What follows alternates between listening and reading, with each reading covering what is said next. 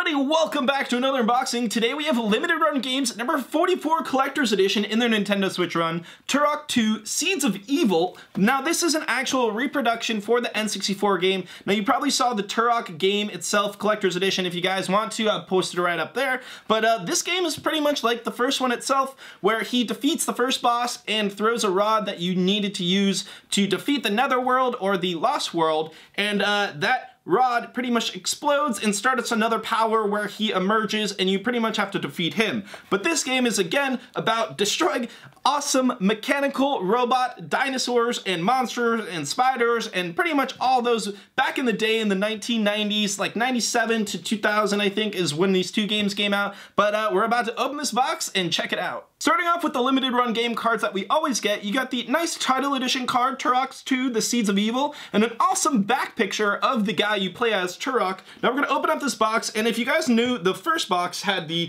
reflective holographic cover, this one does as well, and I was really excited about that because you cannot see it in the website itself, so it was a big surprise when everyone got their, cla their classic editions, and all these boxes came with this awesome holographic Ooh, the, this the second one is so much better than the first because of the the actual like dinosaur skin. It just makes the the holographic uh, rainbow just look so much better. But uh, outside box is really nice, guys. The backside actually shows you a little bit more of that gameplay. You get more HD remastered graphics, a little more saturation color, a lot more weapons, um, but you still get that same old school gameplay mixed from Doom and pretty much Super Mario. Now we're gonna open up this collector's edition. I kind of don't want to ruin it. Now, if you guys saw my first one already, the the actual double pack came, the game box that I had before, uh, I showed that in the first video. Now that came with both of these collector's editions I ordered, but we're gonna open this up for you guys right now. What comes in this box is the Bronze N64 Repro ca cartridge,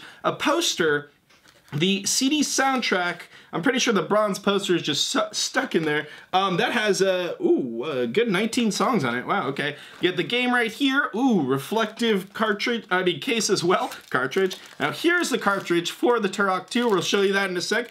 Ooh, this one's not even bronze this time. The first one is bronze. You might want to go check that one out. But we'll set this up and get started. So we'll start out with this poster. I think it's only one-sided, but I remember the first one, I didn't really like how many folds that they had. It's a little bit bland. I wish they kind of changed it up a little bit. But uh, they they do have a lot of folds, and you can tell by that. But uh, I guess we're gonna open up the CD because the only other two things that we have are the bronze cartridge and the uh, game itself. Now this class classic edition went for $54.99 guys if you didn't know and I really think it's right on the price point just like I said for the first one. I really like the, I wish that texture came out on the CD, that'd be pretty cool. Now there are 19 songs I said at the start and the CD did change in the first one so I hope it's, oh okay, a little bit of the same mixed with a little bit picture of the different of the Turok 2. If you guys understand that, you might want to watch the first Turok CD when I pulled it out. Has the same kind of uh, aim feel right in the middle, but it was like a giant white uh, outline, like a negative of a T-Rex, was pretty cool.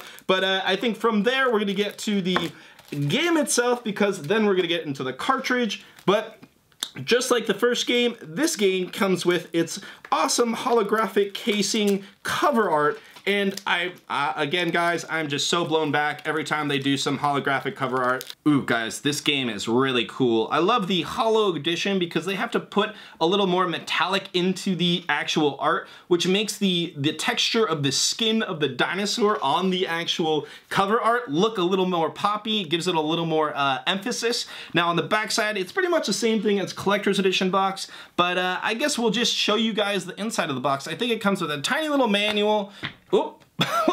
There's the manual right there. So we'll show you the manual in a little bit. It has that skin dinosaur on the inside cover art, just like the first one. And then the card itself is just a plain card. Again, I wish they mixed it up a little bit with their uh, cover editions, but uh, I, I really do like the hollow, and that just brings me over the top with this.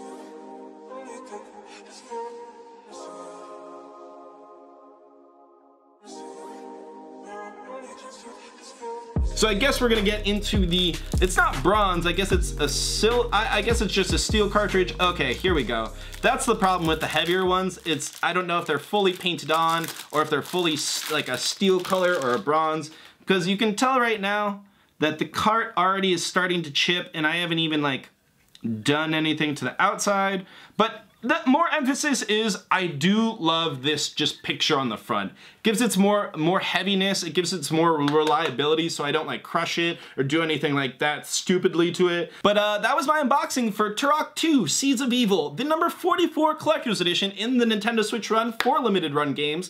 Now what did you guys think about it? I really think that the price point's great. I liked how they moved to the metal and bronze steel cartridge repros because they just give it a, a lot more emphasis on the front of the cartridge instead of putting that fake plastic stuff. And I don't have to worry about it when I like smush it or anything like that. It's gonna keep up pretty well. The CD is really cool and pretty much the only thing I wish is that they changed the cover art a little bit. But other than that, I love those holographic images. They're awesome. But what did you guys think about it? I hope you guys enjoyed this video. I hope you guys subscribe to my channel for more unboxings just like this one. I'll have more in the future. I got a lot coming up, guys. But I hope you guys follow me on Instagram and Twitter at Hubalubalu for more of these pics of the unboxings and updates all I get for the collector's edition. Uh, if you guys enjoyed this video, I'll see you guys next time.